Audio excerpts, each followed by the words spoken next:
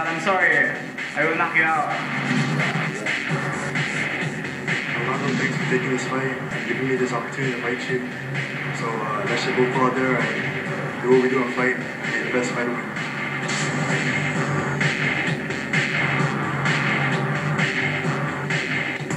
All right, ladies and gentlemen, let's rock. Fighting out of the red corner, he is a Muay Thai fighter, fighting out of Biagtan Muay Thai and MMA gym, with one win by way of knockout.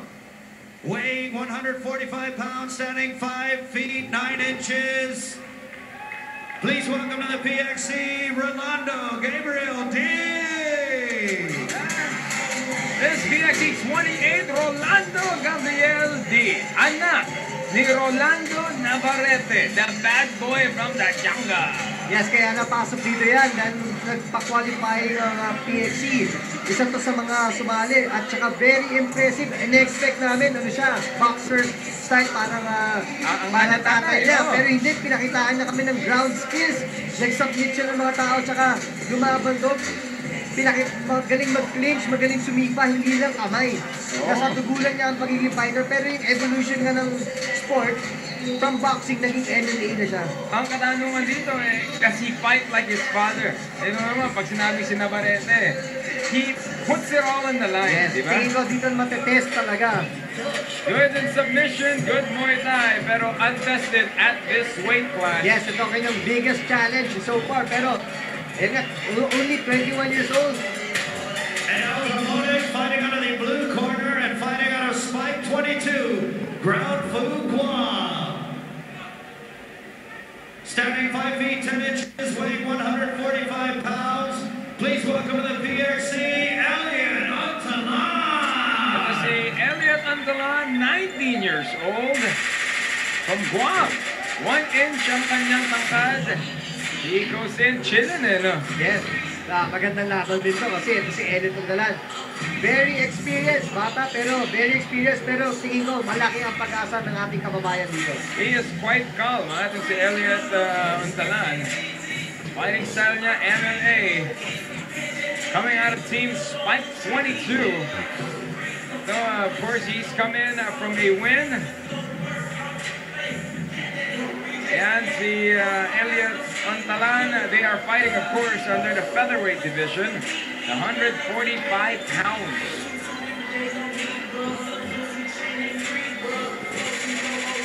Ganda ng buhok, Erwin. Yes, ako very exciting itong laban na to. Kasi ito si uh, Rolando. Striker. Very Sobrang lakas. jiu-jitsu. Sabi nga, nakasparing siya ng uh, isang aking uh, teammate na si Miggy Ablan. Sabi, parang nung kalabang ang lakas, ang tigas lahat. Wow. At only 21 years old. Here's our tale being brought. Strike strong, two years weight at or uh, inch advantage, one inch naman sa height. Para kay Elliot Untalan, uh, si Orlando D. May na konti. Pero tingnan mo sa picture. Iba na. Parang experience na, kamuha-kamuha ng tatay. Oh, everything else is the same. MMA versus Muay Thai. Yan Even ang the ating match. labanan. And one more time, ladies and gentlemen, for a lovely round girl, courtesy of HM Philippines, Ayumi Sagawa. Yan ang ating appetizer. Hindi ko alam kung Very exciting si, to, yes. si Oo. Rolando Gabriel D. ah. Parang Chuck Liddell. Pero magandang laban talaga to. Tingnan natin kung nakuha niya yung attributes sa kanyang tatay. Nasa genes na yan, tapos tinuruan mo pa ng skill and technique. Wider stance, itong si Rolando Gabriel D, itong naka-black trunks, si Elliot Untala naman, eh, naka-white trunks, Philippines versus Guam. Oh, beautiful shot. Ngayon ko nakita yung ganun tayo ah. Naalala ko yung kay, kay Chuck Liddell nga, tayong ganun. If it's wider like that, Erwin, ba't ganun? Ah, ano siya, counter puncher. Para para open yung ah, face niya, para masakit pa laban, ready siya counter. Good takedown by Elliot. Si Rolando D, getting very active, you know. Kita naman, uh, alam natin na pag galing Guam, ah, magaling sa ground. So tingnan natin ang depensa dito ni Elliot. So far, okay yung kanyang ginagawa. Securing the Kimura lock. Yung sabihin niyan, ready siya mag-figure four. Kung ma- malakas lang talaga si ah, Rolando at magulat to si Elliot, pwede niya submit itong kanyang kalaban. Pero ang counter ni Elliot dito, pinapatungan niya yung sarili ng kamay. Kasi pag hindi niya pinatungan niya, pwedeng itaas ni ni Rolando yung ah, kanyang kamay parang ah, chicken wing, figure four niya. So ang ginagawa ni Elliot yun, pinapatulong ngayon ng, ng hips tsaka legs. Ikaw yung arm strength itong si Rolando eh. Yes. Relax na relax lang siya eh. oh. He's, he's not panicking. No, pero lamang na dito ngayon si Elliot Quintana, nasa side control na.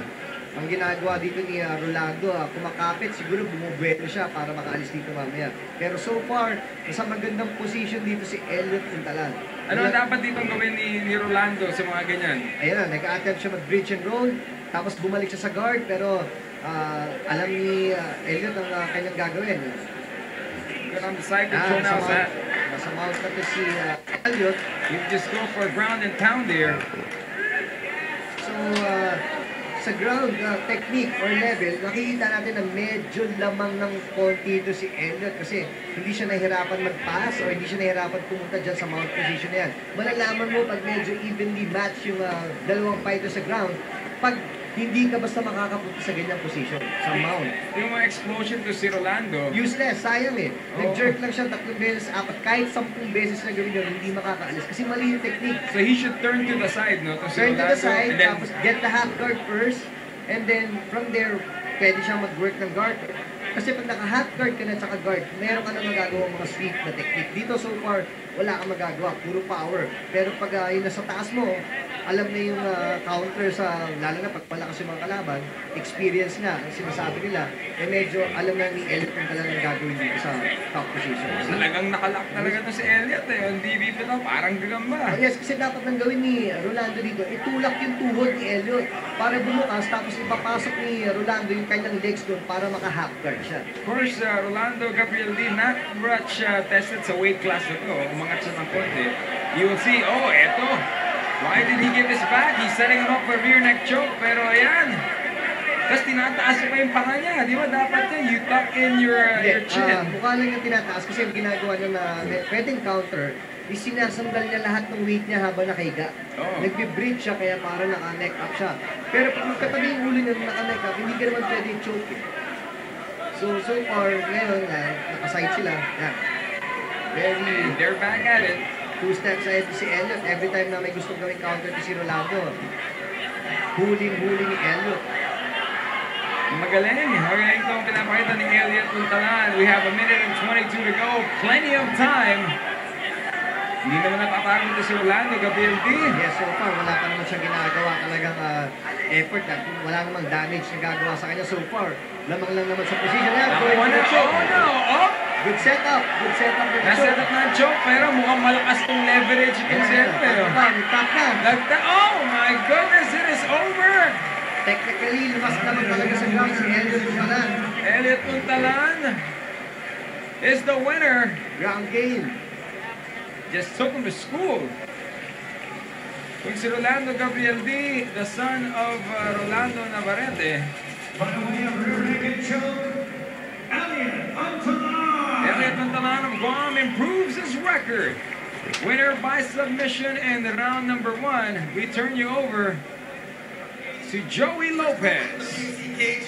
Welcome. How's it feel to be a pro in the PXC? First fight in the Philippines. It feels good. I, I trained really hard for this. Uh, Rolando's a great opponent. He, you know, he uh, took the fight, gave me this opportunity to fight him, and uh, I I just happened to finish him.